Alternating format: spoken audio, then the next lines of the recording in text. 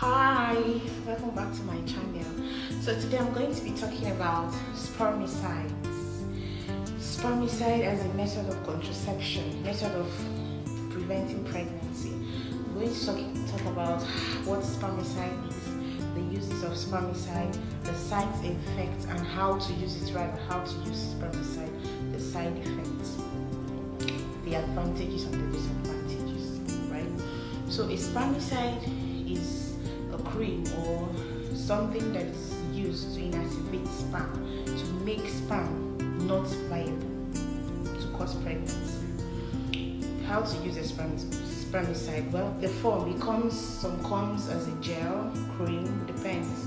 So how to use a spermicide? Quick one. You just stand or you can lie down or whatever you want and just insert it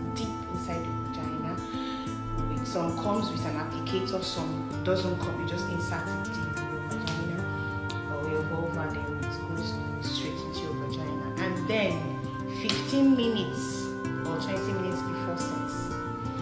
After that, while having sex, you can have your sex within one hour after the 15 minutes of application. If you don't have sex, then or you're done having sex after one hour and you want to have another sex, you have to apply it again. This is a major disadvantage because you keep applying it. And this is why also most of the time it's not effective because people just apply it once and they can have rounds and rounds of sex pregnancy will result disadvantage of this is that especially when you use it a lot of times in a day it causes irritation. You start feeling sores.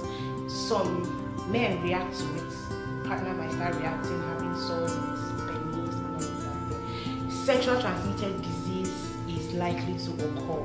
This is why you can because it's not it's not a protection, it's just inactivate sperm. So if you're using spermicide, you can also use condom to protect yourself.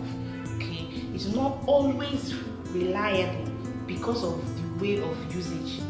People don't always apply it all the time. They are tired. They think once is enough. This might result in pregnancy. Another disadvantage is this: it can get messy after the sex, you can stand up and then you see it and make a mess. The advantage of it is it's very easy to use. You can get it anywhere. You can walk into the pharmacy and get it. So guys, follow me for more ways of preventing pregnancies. The advantages and disadvantages of each ways will be explained explicitly in this channel. You can follow my Instagram handle, you can follow my YouTube